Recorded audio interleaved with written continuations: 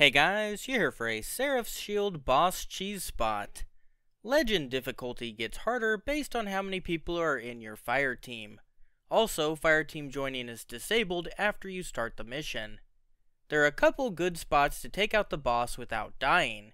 The first spot is up high. Go past the boss and jump from the desk to the top of the room windows. Then jump into this part of the ceiling. You can shoot through and be shot at. However, the boss is so far away that most of his damage misses, making it an easy kill.